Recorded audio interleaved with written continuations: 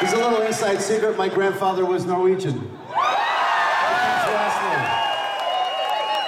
We'd like to do a song from the Revelation CD and dedicate it to all the fans that have been with us through the years. All the albums. It's called After All These Years.